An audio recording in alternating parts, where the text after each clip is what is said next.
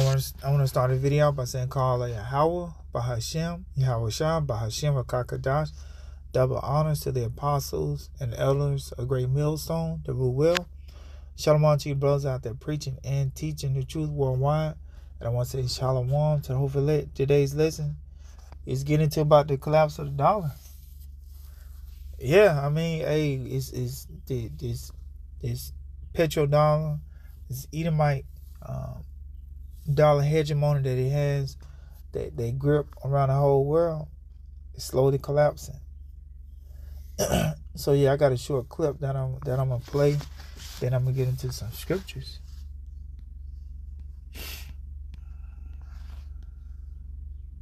Lapse of you think is coming is a recession.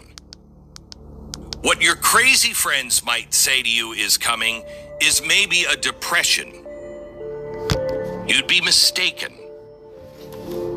Those are lies. What is coming is a collapse of the dollar. You haven't had one of those.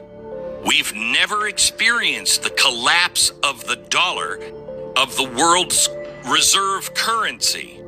This will make us Venezuela.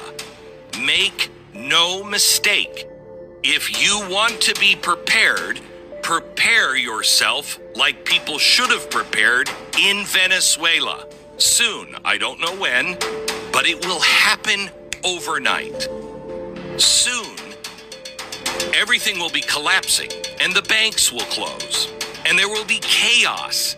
You think is coming is a recession. So, yeah. Hey, the collapse of um, this American dollar, this petrodollar, is imminent. Scripture, uh, we can support this through the scriptures, through the spirit and power of Yahweh Shem Yahushua. I'm gonna go through some scriptures. Uh, linking, I think it's Glenn Beck, if I'm not mistaken. Pretty sure that's, I think that's who it is. But anyway, I mean, laying it out there. See, these damn Edomites, they preparing carnally.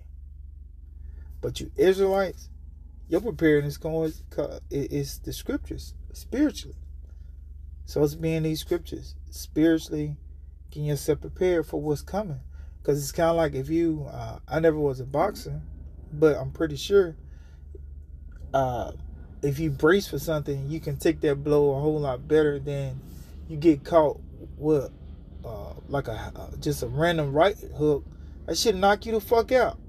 Here it is. If you know something coming, you can tense up and you can absorb the blow. Versus it is you turn around and you get like a defensive wide receiver. Someone come across the middle and knock knock the nigga straight out. Versus you see the, the DB or the the safety coming up, getting ready to hit. You can kind of like you know you can brace yourself for for the uh, for the tackle and then jump back up. But if you come across the middle, you get ready to make that first cut, you got a DB or the middle linebacker just waiting on you. Got a nigga like Ray Lewis waiting on you, he'll lay you flat out. So that's what's coming. The collapse of the dollar, I was just saying, it's gonna happen overnight. Jake gonna, gonna have that 401k. Shit gonna be gone overnight. The collapse of the dollar. So Let's let's do it.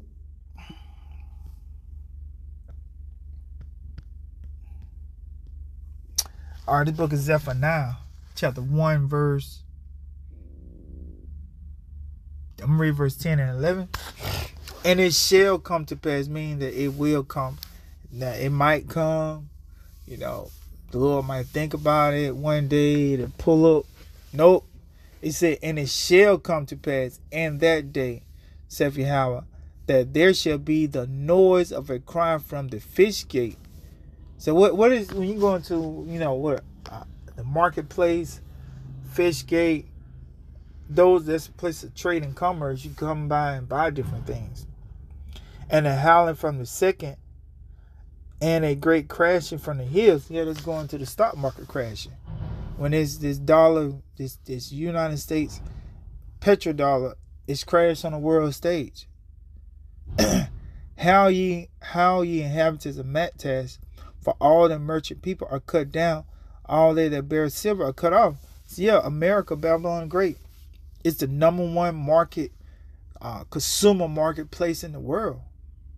Here it is. We only have 300 some million people. China has, let's look at China's population. It's like some of, I got this right here. I'm gonna pull. Let's let's go. China population.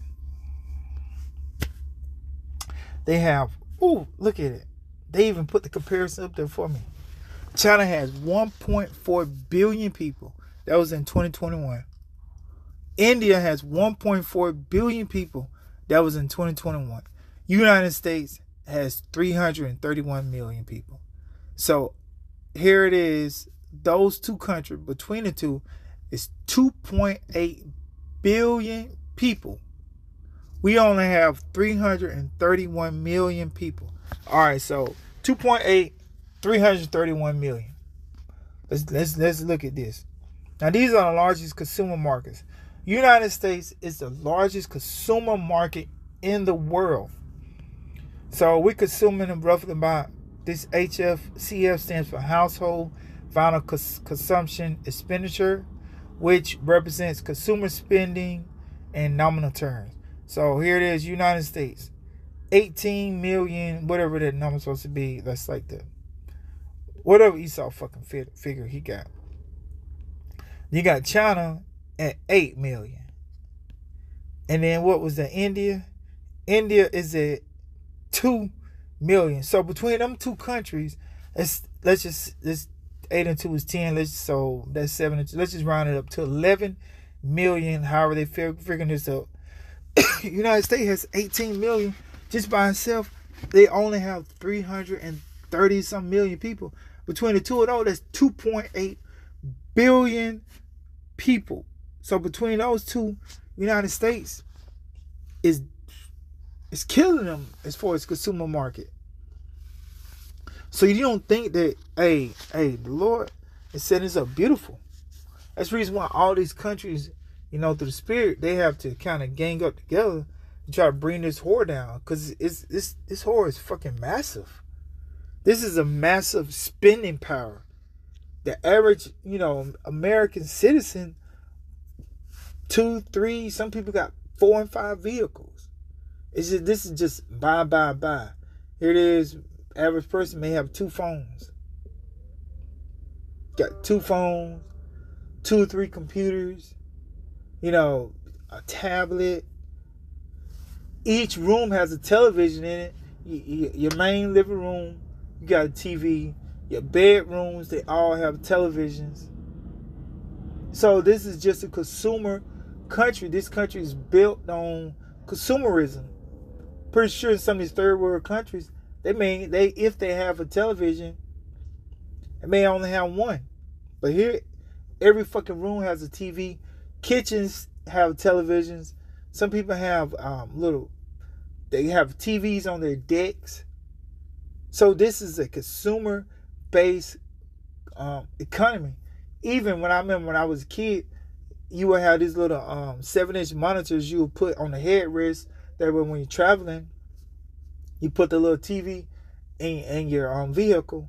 So this this country is built on consumerism. As you can see, we only have 330 some million people, but it's the largest consumer country in the freaking world. So you got the EU. Oh, Slovakia. Uh, that was they that was EU Union that I thought that was eight. I mean China. China is six. China is six point eight million. So that eight that I was talking about, referencing, that was actually the European Union. So between China and India, that's six and two, eight. That's eight. Let's just say nine, nine million. So that's fucking double. United States household expenditure is double between the two largest as far as population in the world. They got 2.8 billion people. We only have 330 some million people. That's crazy. So between the first 3, 8, 6, 14, 16, 8, 14, 16, 18. So you got to have the EU, China, Japan, and India.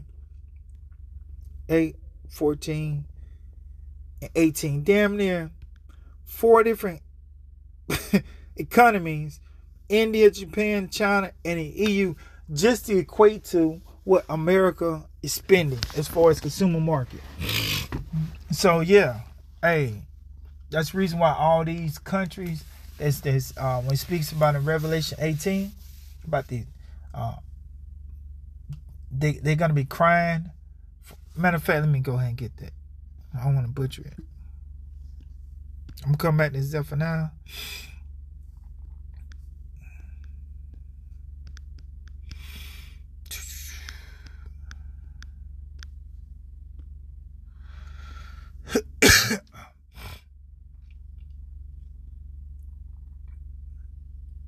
Right, Revelation 18, verse 11. Just go to the point. And all the merchants of the earth shall weep and mourn over her, for no man buyeth their merchandise anymore. So when America be destroyed by this thermonuclear destruction, we just we just saw how large this consumer, uh, uh, how how much this country consumes. So they're gonna be like, damn, this one economy was doing more than a country that has 2.8 billion people between the two of them. They can be like, man, we can't sell no more of these beats by Dr. Dre. But that nigga dead. Cause he thought he gonna have a bunker down in, in Los Angeles somewhere. That shit, and the nigga died over here.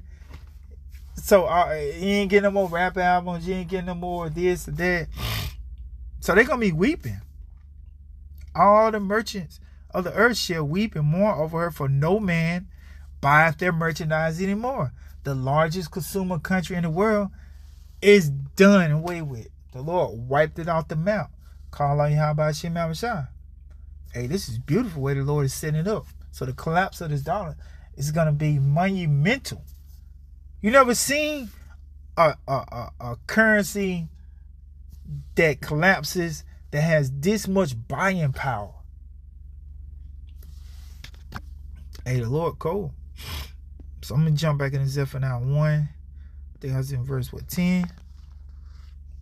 So yeah, so as this was going to, how you inhabitants of Maktesh for all the merchant people are cut down, all they that bear silver are, are cut off. So yeah, so man, hey, the Lord is setting this place up beautiful for the fall. Beautiful. Here it is. You know, the average, you know, American citizen, I mean, got probably it's what seven days in a week got at least seven pair of jeans. At least seven pair of jeans. Not including your work clothes. She's like, because I have work clothes. I have clothes that I run in. I have clothes that are, people have clothes that they go swimming in. So people have clothing for every, people have clothing just to grill in. So this is a very consumer based economy. People have uh, clothes just to sleep in. I have clothes just to sleep in. All it is just sleep in and take it off. It's not to wear outside. It's called pajamas. They call it night clothes. so this damn devil set it up beautiful. He this damn devil will will hey he got it set up beautiful just just to take all your damn FRN notes. Sleeping clothes, running clothes, working clothes, club clothes for the hoes. So eh, there is clothing for every fucking thing in this um economy if you think about it. You got your school clothes, you know, kids go to school. They have clothes that you play sports in. You have you have certain things for for niggas going to see white Jesus, church clothes that you take off when you get out of church. Put on something more relaxing. So this economy is set up for consumerism. So I wanted to, because uh, I was speaking in about that collapse of the dollar. So you know, I had this. I think get this Revelation six. It's going into you know dealing with the collapse of the dollar. Because uh, I think in that clip, He's speaking about how, speaking about Venezuela when their when their money collapsed, it was just basically hyperinflation. So when that dollar collapses, it's gonna be hyperinflation out there. Well, out here, I'm in America, Babylon the Great, but my trust is in Yahweh not in these FRN notes. Because at the end of the day, I understand that those dollars can't save me. Only person that can save me is um, Yahweh Yahweh Shah. Nothing, nothing else can can save me. I can't, I can't go and buy the biggest Beretta, the the the biggest gun that's got a switch on it. No, none of that shit can save me because at the end of the day, that shit can jam. Or you could be in a position you just at Kroger buying groceries, place get shot up, but you in line, you in aisle ten. You not thinking about your gun. You're up there looking at pasta, checking the ingredients. You trying to go gluten free. then you get shot up looking at gluten free items because you want to eat healthier. So, hey, so right here, Revelation 6, verse 6 And I heard a voice in the midst of the four beasts, and measure of wheat for a penny, and three measures of barley for a penny. Let me see. Oh yeah, yeah. Actually, I was gonna get that in the blue letter. Someone.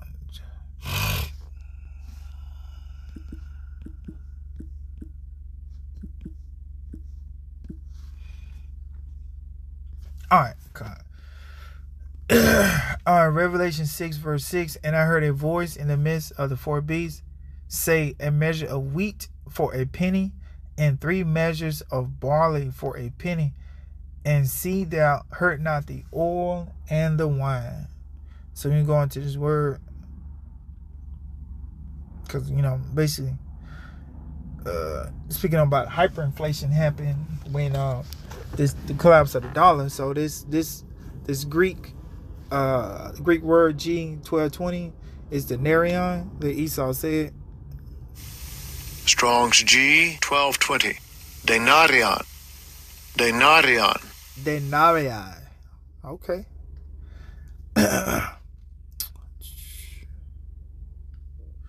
All right, denarion, counting 10, a Roman uh, civil coin in the New Testament time. It takes its name from it being equal to 10 ounces.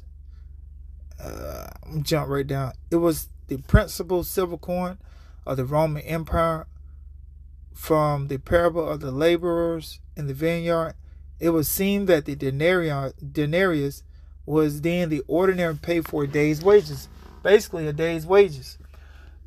so whatever you you make, let's just say you make twenty dollars an hour, you work eight hours a day, that's a hundred and what sixty dollars. So it said, and I heard a voice in the midst of four beasts, a measure of wheat for a penny, and three measures of barley for a penny. So that's basically saying it's taking you three times as much, and three measures of barley for a penny. So if your day wages was $160, it's costing that just to get that item. So here it is. You can go in Kroger right now and buy whatever it is. Let's just say buy a pack of uh, ground beef. You know, a pound of it costs you roughly about five forty nine, six forty nine. So three three times. This said a measure of wheat for a penny. Penny. That that penny is talking about a day's wages and three measures of barley for a penny. So three times your day's wages. So if your day's wages is just just gave the analogy right now, you could go in the Kroger and buy one pound of ground beef, and not dealing with the extra lean or the um, what do they call it? The um, it's like the uh, sirloin, like it's without less fat. So let's just say six six forty nine for that. But this says the penny is talking about a day's wages. So your day's wages is $160. So hundred this if it's three measures of barley for a penny. So that's that's what it's talking about. $160 just to get that one item now. A measure of wheat for a penny. Bam. So here it is. Imagine now going to the Kroger after the collapse of the dollar. You try to get that and measure a wheat for a penny, $160. Your whole day's working, whatever it is you're doing, just to get one pack of ground beef. It's called hyperinflation. Ultimately, going to the collapse of the dollar. So hopefully this lesson was edifying. Till next time, shalom and a barber ball.